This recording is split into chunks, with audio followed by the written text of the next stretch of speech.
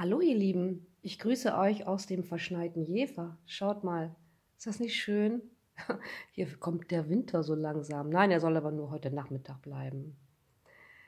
Aber was mir dabei einfällt, ist, wie schnell sich die Welt da draußen verändern kann. Eben war es noch grün, jetzt ist es weiß.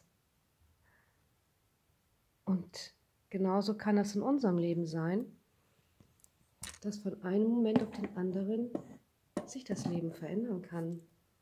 Dass man von einem Moment auf den anderen aus der Bahn geworfen wird.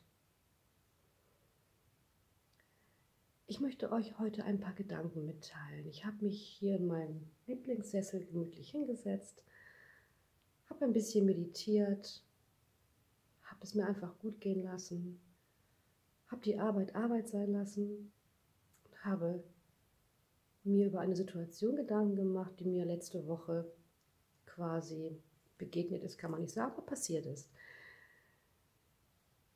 Ich war vor zwei Wochen zur Kontrolle bei meiner Ärztin, Nachkontrolle, und fand nun letzte Woche von meiner Ärztin einen Brief im Briefkasten. Ich hatte ihn nicht geöffnet, ich hatte nur gesehen, dass es von ihr war ich fing sofort an zu zittern, richtig. Ich bekam Magenschmerzen, mein Herz fing an zu klopfen und ich war eigentlich wie in einer Panikattacke. Ich habe den Brief genommen, tausend Gedanken schossen mir durch den Kopf und dann habe ich mich mal hingesetzt. Dann habe ich definitiv bis zehn gezählt, tief und langsam geatmet, kam wieder runter und habe dann diesen Brief geöffnet. Was ich euch damit sagen möchte, ist, wie stark traumatische Erlebnisse sein können. Ich hatte ja vor anderthalb Jahren diese Erkrankung und in dieser Folge der Erkrankung sechs Operationen und auch noch andere Baustellen in meinem Leben, die ich ähm, bewerkstelligen musste, die ich, die ich beackern musste. Und da habe ich gemerkt, wie wie das im Unterbewusstsein sich festsetzt. Traumatische Erlebnisse sind, sind sehr, sehr schwer zu verarbeiten.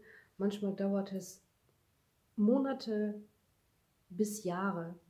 Sagte mal eine bekannte Therapeutin, auch die Menschen, die aus dem Krieg zurückgekommen sind, die Holocaust-Überlebenden, die haben funktioniert und nach Jahren haben sie dann durch irgendeine Situation sind sie damit konfrontiert worden und fingen an, das zu verarbeiten. Und genauso habe ich es bei mir auch gemerkt. Es ist noch gar nicht so, so verarbeitet. Was ich euch damit eigentlich mitteilen möchte, so die Gedanken, die mich so bewegen, wie man mit solchen Situationen fertig wird. Und das Beste ist tatsächlich, wenn man traumatische Erlebnisse gehabt hat, sich professionelle Hilfe zu holen ein Coach, eine Therapeutin, eine Gruppe, wie auch immer. Das ist wichtig.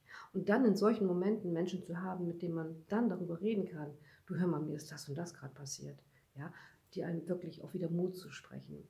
Und einfach auch das zu verstehen, dass das Unterbewusstsein so mächtig ist und dass man Dinge manchmal nach Monaten und Jahren erst wirklich, wirklich verarbeitet.